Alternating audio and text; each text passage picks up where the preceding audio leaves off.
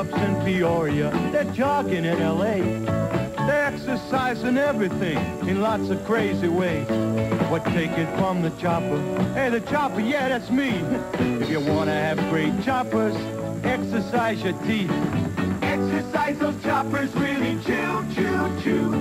Exercise those choppers on some good hard food. Your molars grind. Your canines tear. Incisors bite right through. So exercise those choppers on some good hard food. Pumpernickel. Carrot sticks. Crunchy fruits and nuts. Things you really have to chew will make your choppers tough. So take it from the chopper, cause choppers know it's true.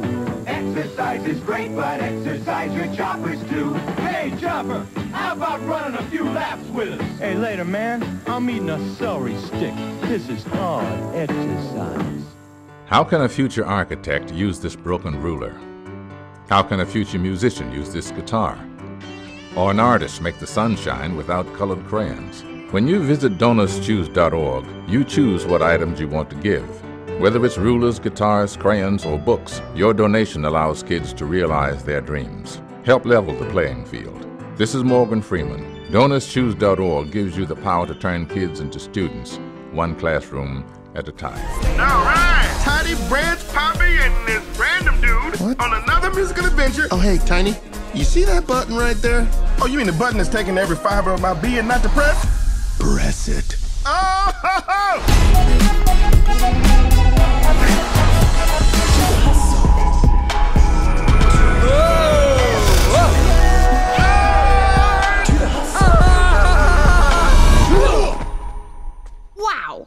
Much hustle is a thing. Huh. Look at that.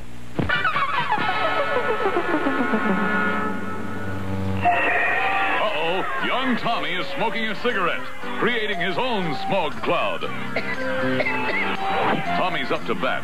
Tommy smokes because he thinks it makes him look grown up. But watch what smoking does for him. That coughing is one thing. It keeps him from playing his best. You're out! Don't smoke. It doesn't make you grown up. It makes you a loser.